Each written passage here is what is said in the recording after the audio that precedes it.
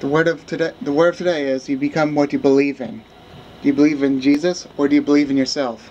Do you believe you'll be better than everyone else, which makes you worse than everyone else? Or do you believe you're not really good or fit for anything and that you need Jesus? Do you believe that Jesus is going to get rid of your sins? Because if you if, if you believe that Jesus is going to save you from all the sin, because sin's basically sending people to hell.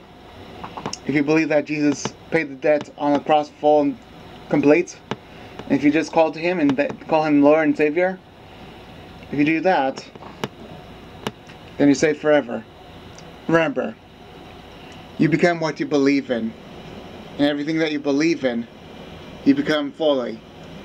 So if you believe that you're not going to become a criminal, you believe in that instead. Because you become the criminal, and you become even worse than, it, than anything in uh, you can ever imagine. Because you're not really set for believing that you're not a criminal, but if you believe that you cannot be saved, then you are saved. So basically everything that you believe in is belief in what you do and what belief in what you've already, you know, what you've what you've accomplished is basically you believe that you cannot do it, thus you become it. So you know back, so you know uh, reverse psychology. Well, anyway, what is that? Reverse psychology is a belief thing. If you don't want to do this, then you become this.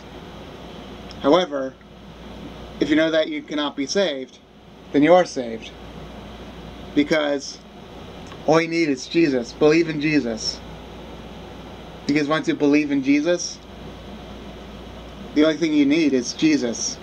Because the Bible did say, uh, the Bible, the Bible did say clearly because it said, um, if you you know, if you don't save yourself, you are you you're you basically for those that to save themselves, then they don't save themselves. If they um, try to um, not save themselves, then they've already saved themselves.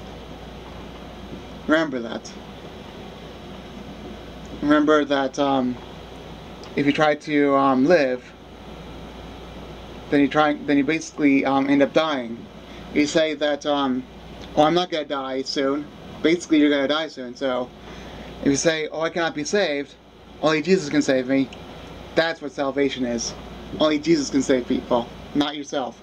Because the flesh is all completely corrupt. Because let Jesus be the guide of your life.